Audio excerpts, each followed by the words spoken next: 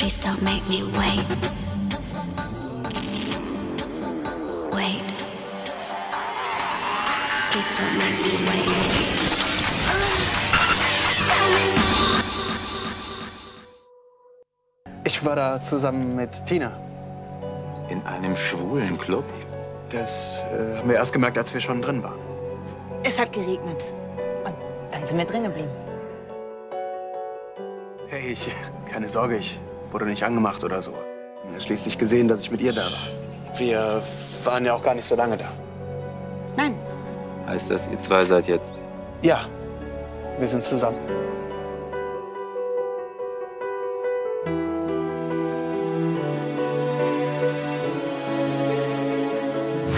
Deshalb hast du also so dermaßen darauf bestanden, dass Tina Kessler dich begleitet.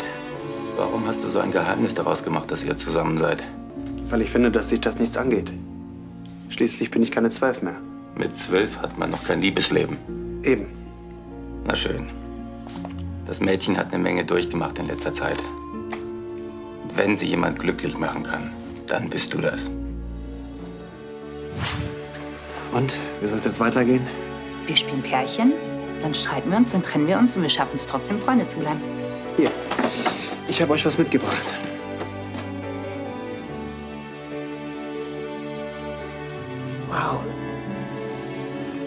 Woher wusstest du denn meine Größe? Dein Kleiderschrank stand offen. Das kann ich nicht annehmen. Keine Widerrede.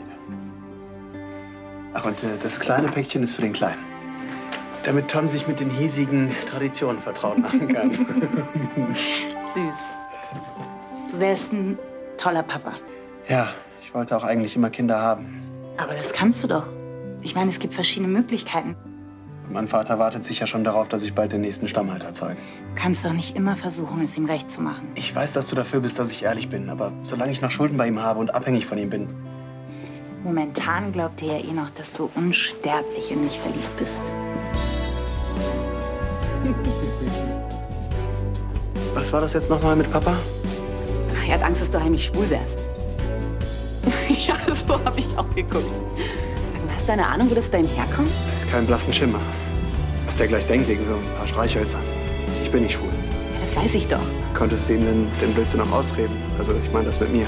Also, wenn es zwischen dir und Tina was Festes wird, ist die Sache sowieso vom Tisch. Richtig. Dein Vater ist noch mal zu mir gekommen. Bitte? Er denkt wirklich in diesen Klischees. Sag ich ja. Ich werde ihm morgen beiläufig sagen, dass unsere Beziehung nur so mittelgut lief und wir doch lieber nur Freunde sind. Nur du hast Angst. Er hat jetzt einmal den Verdacht, also wird er nicht mehr locker lassen. Wenn man vom Teufel spricht. Boris, das wäre doch nicht nötig gewesen.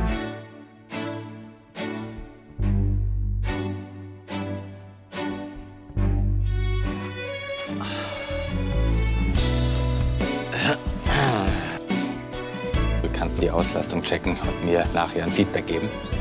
Alles klar. Viel Spaß noch. Dafür, dass du sonst keine Frauen küsst, warst du gar nicht schlecht. Ich habe dabei an Andrei Konopka gedacht.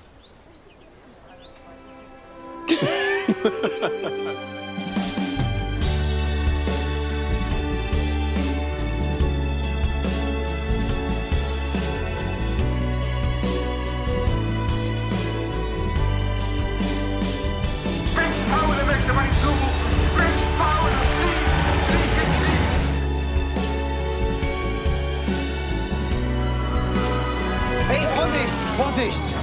Sorry. War keine Absicht. Ja, hoffe ich doch.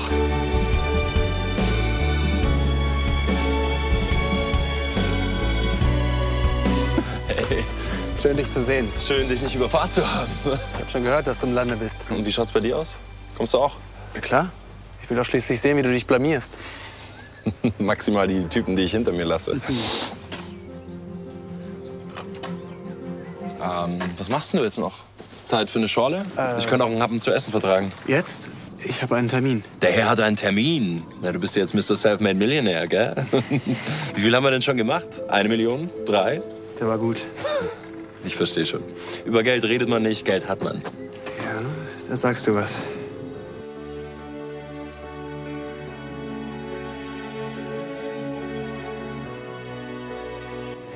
Ja, okay, ich muss dann. Was hältst du davon, wenn wir heute Abend eine Runde zocken? Du an sich liebend gern. Aber du weißt, Triathlon. Bisschen Disziplin gehört da schon dazu. Gut, dann danach? So machen wir's. Alles klar. Bis dann. Bis dann.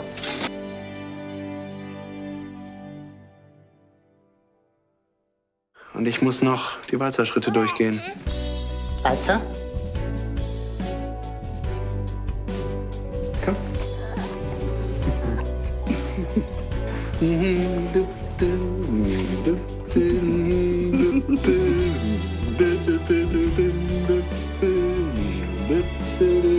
Boris?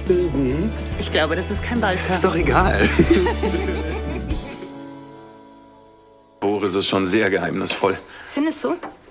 Ja, wir- ja, wir sind uns zwar nah, aber eigentlich auch nicht. Keine Ahnung, was er so die letzten Jahre getrieben hat, als ich in Kanada war. Frag ihn doch. Ja, aber da kommt nicht viel. Dass es so mit uns beiden zu Ende geht, ist echt bitter, Justus. Ich. Leg einfach auf. Justus. Deswegen dieses alberne Vater-Mutter-Kind-Spiel mit Tina. Sie haben das total missverstanden. Ich Wird sie der gestrenge Herr Papa enterben, wenn sie keinen eigenen Thronfolger produziert? kein Wort zu meinem Vater, sonst. Sonst was? Bewerfen Sie mich mit Wattebällchen? Ihren Vater wird das interessieren. Sie bleiben hier. Sie können ja nicht mal richtig zupacken. Aber wenn es Frau Saalfeld nicht war, dann läuft der Mörder ja noch frei rum. Vielleicht sogar hier im Hotel.